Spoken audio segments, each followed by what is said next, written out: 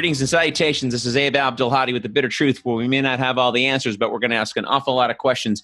You can also become a bitter pill or a spoonful of sugar by visiting patreon.com forward slash The Bitter Truth and get some fabulous swag to make your life better. Uh, today, I'm excited. We've got a, a guest of the of, of uh, today on the show. I can speak English, and uh, awesome person, uh, fabulous uh, human being, New York Times best-selling author and Hmm. journalist, among other uh, among many of her books, uh, "The Stranger She Loved" and "Picture Perfect: The Jodi Arias Story." She's also an award-winning journalist and has been a regular on various and sundry TV shows. You've seen her, you know you, you love her. Shanna Hogan, how are you? Very good. And for long-time listeners of you, uh, that they will know the connection uh, between you and me uh, will forever be the Jodi Arias case. Yeah, probably. Um, I'd like to think as we move on with our lives, um, we get we get more than another connection, but that's okay. Yes. You know, uh, you there? Yeah. Awesome. All right. So, yeah. but um, yeah. So, well, I mean, let's talk a little bit about how you got into all this because you you you went to you went to ASU and you know you just wanted to be a journalist, right? And so how so what happened? Yeah, I mean, um, now I teach uh, at uh, adjunct at ASU, and so I like help you know people kind of figure out what they're going to do for the rest of their lives. But yeah, back in 2002, 2001, graduated from high school, wasn't really sure what I wanted to do with my life, but I knew I loved writing, and um, I, I happened to be drawn to some of these true crime stories. And so I started. Uh, I I went to ASU, got a job as a journalist, or working as a daily paper, the East Valley Tribune. Uh, went on to work for a magazine. Stayed there for seven years. Um, during that time, I wrote about crime cases happening in my backyard, and ended up getting a book deal out of one of them. And then uh, Jodi Arias happened, and I just uh, knew right away that this was a big story, but unlike some big stories in the news like where like someone like casey anthony uh, you know uh, her daughter goes missing and and it's big news from the day that she disappears to the day that her body's found. For some weird reason jodi arias was this random case where um, you know it was popular for about like 10 minutes and then uh, no one talked about it for five or six years until the trial happened Well, that's why because that that's kind of why though, isn't it? Because she she was able to push off the trial for five years. yeah and well and and the news cycle was a short attention span. It's like a it's like a it's like a kid with a with a brand new toy, right? absolutely i've almost become kind of disillusioned in journalism and uh, period but uh, also the justice system in arizona if you're up for a death penalty case it takes about five years because they almost never have you out without on bail. So they figure you're already in jail. Um, you know might as well just wait as long as possible. And there's also like a whole thing with like death penalty qualified attorneys in arizona. You have to have a certain um, attorney to be able to represent you. And so it takes a long time. It takes about five years and so if i hadn't um, gotten it in on that case and started writing about it when i did i know i don't definitely wouldn't have gotten the book deal because then it blew up to be this huge thing where it would have been a much bigger author that ended up taking on that book But you also wrote other books before this, right? So this was not Yeah. this- yeah. So you already had a reputation, right? Yeah, well, I had I, I'd written an Arizona case, and it was just like you know a normal paperback. Um, but uh, I I think I'm a pretty good writer, and what I um, kind of bring to the table is uh, turning you know true facts into a uh, narrative nonfiction, and um, t- being able to tell a story in a way that's entertaining, um, but also informative that uses all the real facts. So um, this was Jodi Arias just happened to be my second book. I've gone on to write two others, and I'm working on my fifth book now. Which the And which, um, oh, go ahead. I'm sorry. And also I was a co-author on a on a crime book compilation as well. So what what's the new book about? Uh, it's a New Jersey case, um, very dark story. Uh, two brothers in business together. Um, one was like the uh, leader of the business and the owner of the business. Um, the other one um, was kind of like grew up in his shadow, even though he was the older brother. And then um, one day in Thanksgiving in 2018, oh, such a dark story. Um, uh, the one brother's house was set on fire, and his entire family was found dead inside that house Wow. and that same um, day uh, his the other brother's house caught fire. So police suspected it right away.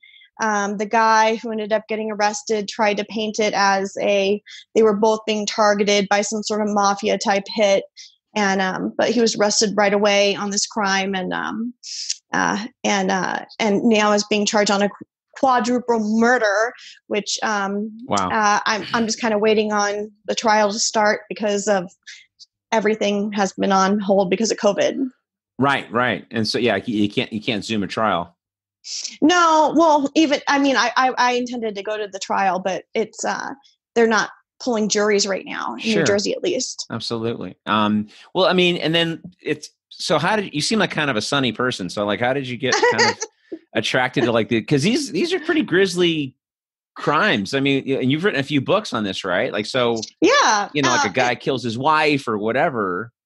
You know, like you know, how, it, like how did you because I'm kind of squeamish. I read I'm like with the Travis thing, and honestly, you know, to be to be transparent, this is the first time I've really talked about it in any way, other than the stuff that I, know. I did. I so extraordinarily privileged that you have decided to open up to me, and I I I I think we plan on spending half of this interview talking about your yeah. experience. Yeah, no, but I mean, it's like well, your experience too. I mean, but the the you know, my thing was always whatever I did was just in that world, and I didn't do it in my comedy. And the novel that I put out a few years back wasn't about this at all.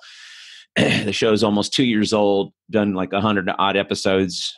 Um, the most I've ever mentioned is if I was talking like a psychologist or something, and they're talking about herd mentalities or something like that. I would mention that I, you know, was involved in a murder trial a few years back, and that there was a a big hoopla about it. But and I, I, I would never name the name. It was never more than a couple sentences, and it was always pretty much the same shtick. I just didn't really talk about it, except for you know. And honestly, when I was doing that Dr. Drew shit, I didn't really know anybody watched that show.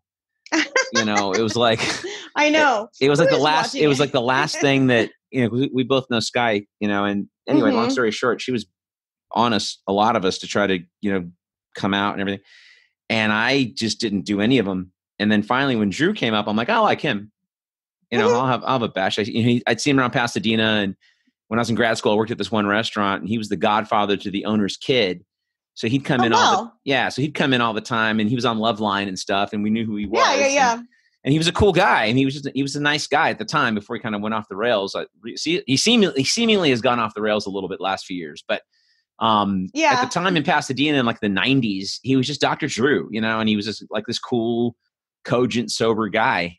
And mm-hmm. so, you know, flash forward a few years later, well, more infused now, like almost 20. But when when I got that that one, which was the last one, because I said no to everybody else, um, mm-hmm. I was mm-hmm. like, oh, okay, I'll have a bash on Drew, sure. And I just honestly thought because it was H, I looked it up. I was like, HLN, what the fuck is HLN? Who's I know, this? right? it's, it's it's like it was. I thought I took I took it to be like ESPN seven, you know, where, where they it's like the, the log. Yeah, like the Ocho, yeah, from dodgeball. It's like I was like, oh, yeah. oh, okay, this has got to be like this is like dodgeball. It's like you know they're, they're, they're doing they're doing the, the criminal version of log rolling. There's nothing there's nothing right? really, you know. And then all of a mm-hmm. sudden, it just fucking took off, you know. And, and mm-hmm. he became this number one dude all of a sudden overnight because he was on this before anybody was kind of on it, you know. And mm-hmm. it got kind of weird, you know.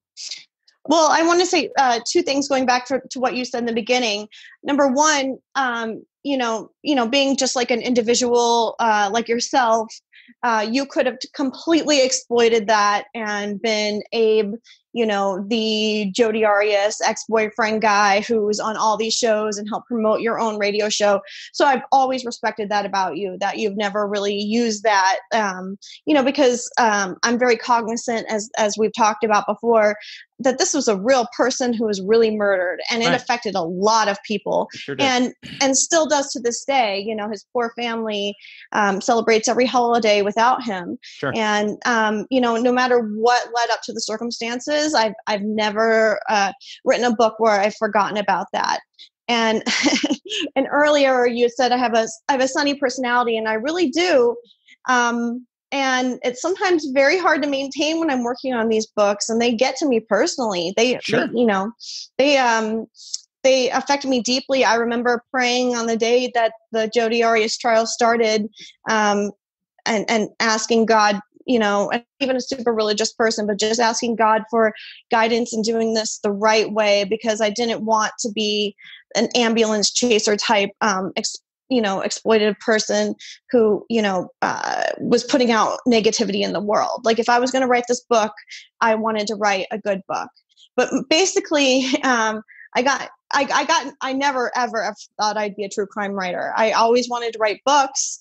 I've always enjoyed writing. I've never enjoyed writing about myself. I just like writing. I love I, I'm, I'm kind of an information junkie, which I would assume someone like you as a podcast host is uh, similar. You know, you love hearing people's stories and learning more about, um, you know, what makes people people tick and stuff like that. And so I've kind of just like um, gone into that and just um, knew I wanted to write a book and discovered that it's a lot easier to get published in nonfiction than fiction. So oh, yeah, 100%. I, yeah, so I set out with um, the intent of teaching myself to write a good true crime book and mm-hmm. like um, you know uh, what what was interesting about these stories to me and it was telling the life story of the victim and also the investigation part of all these cases was very fascinating to me. Like the csi um, it, you know so many of the shows on tv are mm-hmm. like murder shows. Mm-hmm. so you know like what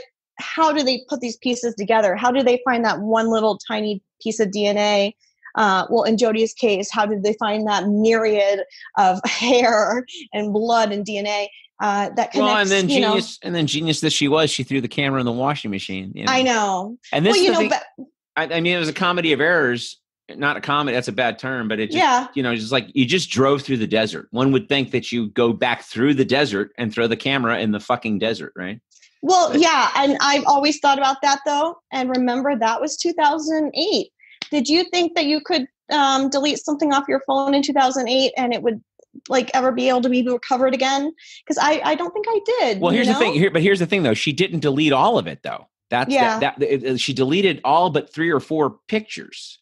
Mm-hmm. And then she threw it in the wash. So she probably, yeah. you know, I don't know what she did, but she probably scrolled back and then like looked at like the the, the sexy time pictures.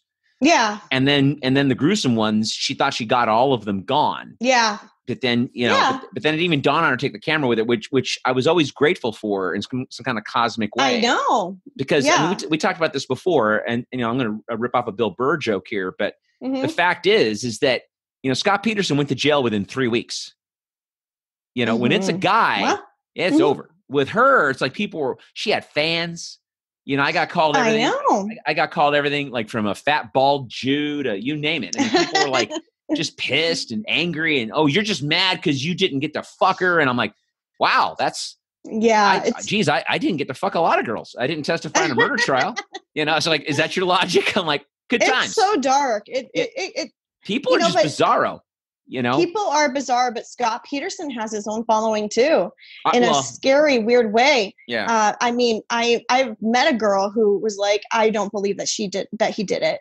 And i was like how can you not believe scott peterson like did fucking ted did? bundy he had fans. i know ted exactly. bundy had teen beat cover chick fans standing in front of the jail. Oh i don't think he did it. But the only point i was going to make really quick it is it, it, it is a different metric when it's a guy Mm-hmm. right? Like it when, very when, much is. It, it, like, like, it's like the the Bill Burr joke I was about to steal was you know if, if I got my dick cut off by my girlfriend and mm-hmm. it got thrown into the garbage disposal, it's a punchline.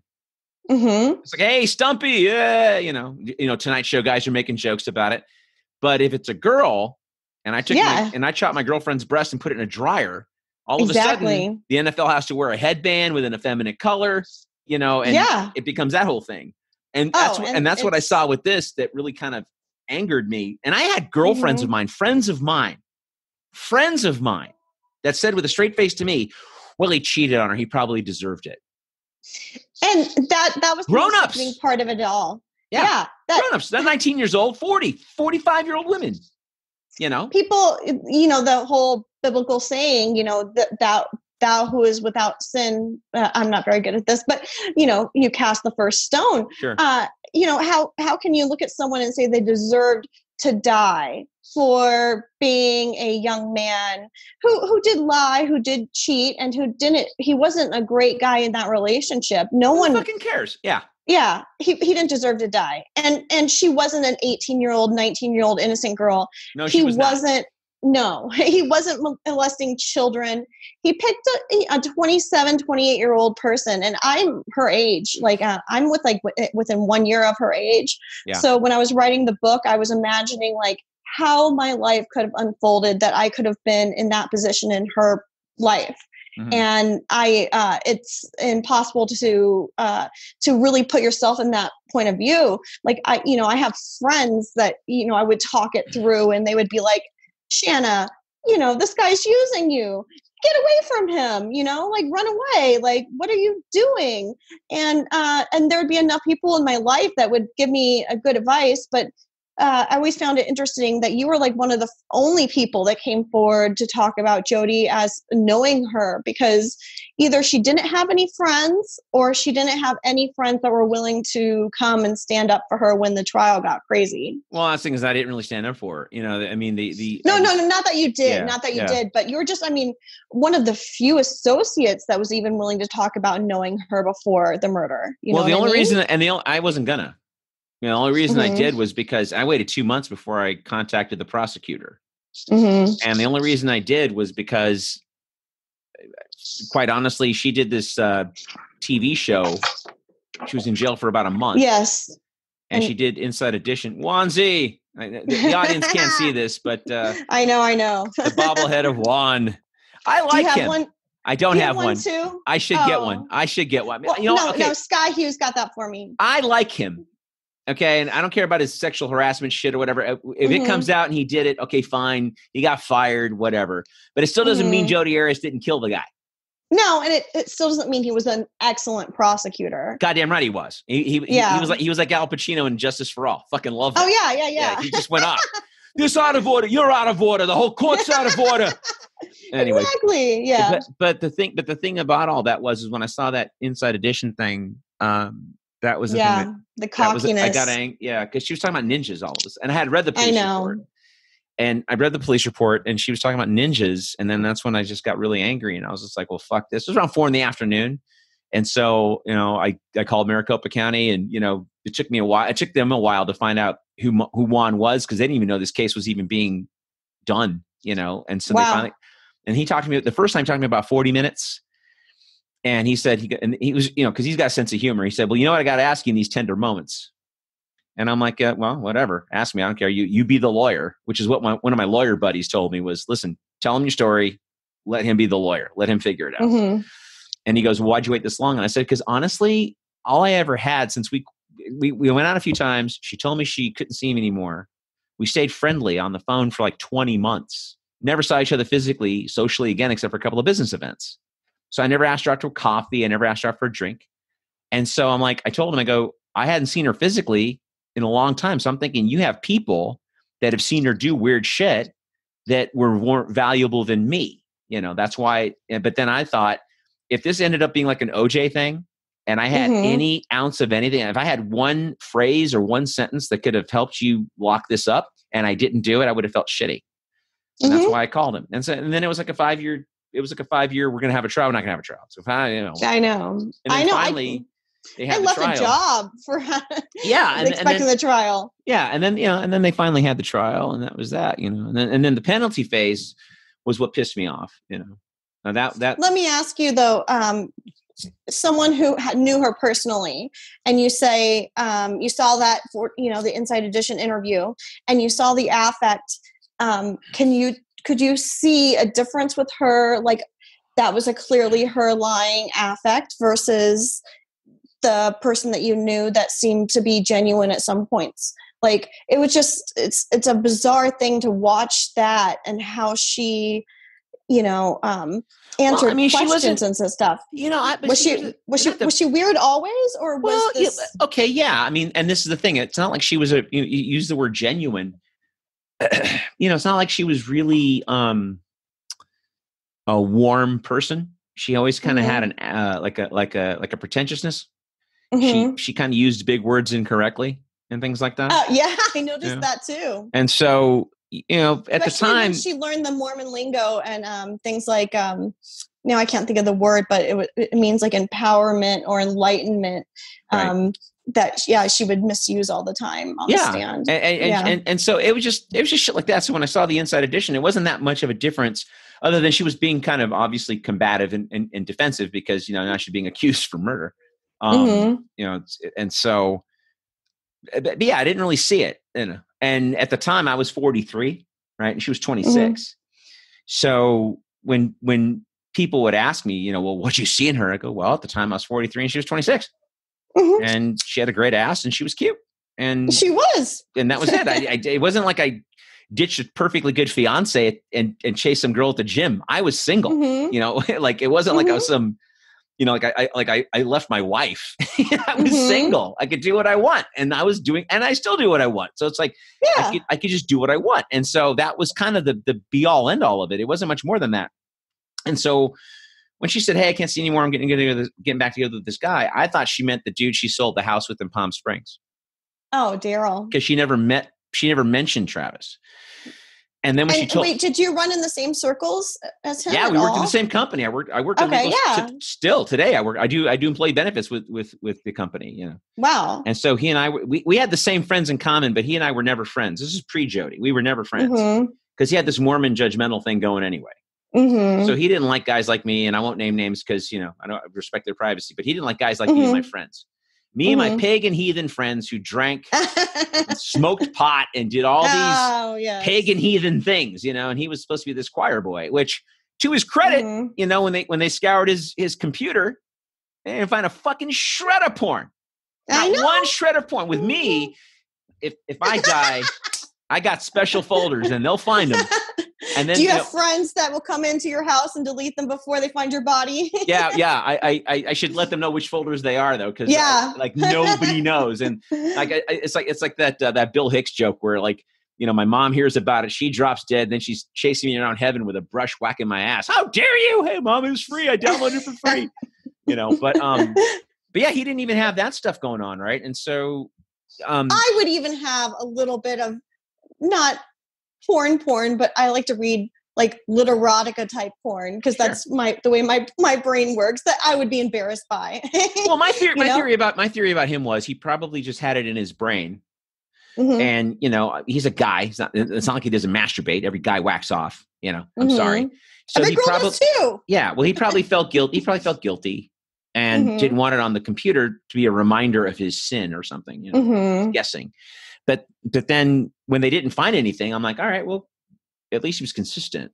But he didn't. He Mhm. didn't like me or my ilk. You know, he he didn't like our our crew and. Which is fine, and I I didn't know that until after because I he and I had friends in common, hmm and they were like you know Jack Mormons. They weren't like real Mormons. His buddies that were my buddies were just guys that used to drink and party and everything else too. But they came up Mormon, and then they Mhm. got early release for time served. So we we found common ground because I got early release for time served. So we would drink and party and have a good time. But he wasn't into that, and so Mm-hmm. and I didn't find out until after the whole thing that you know he he didn't like me. He didn't like these other guys. But I didn't know that, Hmm. and also I didn't know that she had lied to him hmm about me and a bunch of other guys, you know, like saying that we were hitting on her and he was accusing or she was accusing guys who were married of wanting to fly her out to like, you know, New Mexico or wherever for the weekend. And all that did was incense him, but not enough to pull the trigger. So she became a Mormon for the guy. She became this, you know, quasi porn star for the guy. She did all this shit for the guy. And he still didn't want to, you know, pull the trigger and commit. And it was it was just, it was just a tragedy. The whole thing was just a fucking tragedy. And it was it was a drag because what pissed me off about that day when I think about it, is just like a couple years ago, I got out of a thing, right? And hmm I broke up with her, and it didn't Mhm. end well. And she wasn't 12 either. She wasn't a freshman at UT. It, like the, the, things I've gone through with women, by the way, if, it- if I'm dating a 19 year old freshman, that's what I get. Okay, fine. But when you're 51 years old, 45 years old, I, I, expect you to just, I don't know, like behave like a 51 year old. And she, Mhm. she came my- maturity. and she came to my house unannounced a couple of times and you know it got real creepy and i was like the fuck dude uh, you know i was like and unlike you know travis i was like she's never come in my house again i don't care Mhm. how horny i get i'm never going to text her again i'm never ever ever nothing again because it didn't end well and then she got weird And with him to let her in the house after all the, you know, breaking in and all this shit, I was just like, dude, you know what? He wasn't thinking, you know, and I don't know, man. It's it's it, it, it, what angers me is I, I just had a friend who lost a son about three weeks ago to cancer, mm. a young kid, and just pisses me off. Um, I just had a very my my mentee in my life just lost her boyfriend, uh, love of her life, nine of nine years, uh, just bought a house together one week before he was diagnosed with brain cancer. Died within four months. So. And this Ugh. kid never this kid never got a break. He was sick his whole life, right? So mm-hmm. anyway, I say all that to say that and I've lost people to illness, right? You know, mm-hmm. AIDS, cancer, whatever. It's a loss and it sucks. It's different when it's a murder. And I didn't learn that lesson until I went through this. And then and then mm-hmm. when I showed mm-hmm. up to testify in the penalty phase, because I'd never met his family before, you know. And I, you know, and when I testified in the mistrial attempt um, in 2013, that was on the phone. That you know they didn't have me fly in for that; they had me do it on the phone. So I didn't meet anybody. And then this, so when I testified in the penalty phase, the family was there. You know, his sister, his brother-in-law. You know, and I was just like, oh, and I'm just like watching these people, and I'm like, God damn it! You know, it's like this is a different thing than an illness. Not that it's mm-hmm. not that it's it, it's not better or worse. It just it's just it's just different. You know. No, I I I um I could not agree with you more on that. And actually, just I want to say one week ago emailed Sky Hughes and, and just said, you know, I have all these people dying around me, you know, COVID or, you know, it just seems to be like a, a rash of like, you know, cancers and all these different things. And I said, you know, like you you dealt with that the same you know like i i'm still bothered by the person in my life who committed suicide at 25 this, this was like now 14 or 15 years ago you know so like when something like murder that's so preventable and so you know it, it just the the ripple effects of it are so sure. tragic sure if if that's the if that's the only reason i write the books is is just to show that people uh that this these types of crimes, you know, uh, taking away a life pre- prematurely just affects so many people on so many levels for the rest of their lives. It's, it's, just the most destructive thing you can do.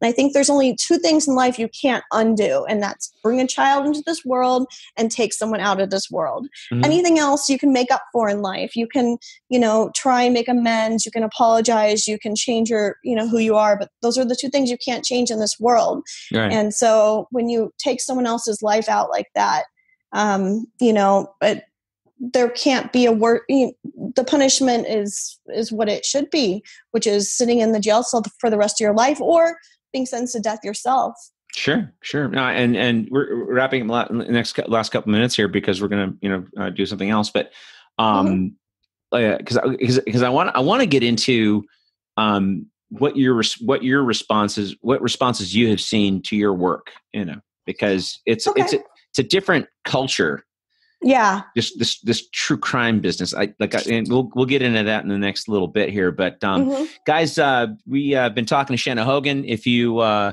are listening to the show right now we're going to be going to part two which will come out in, a, in the next handful of days here. But uh again patreon.com forward slash the bitter truth. And if this stuff makes you uncomfortable it's supposed to. Sleep tight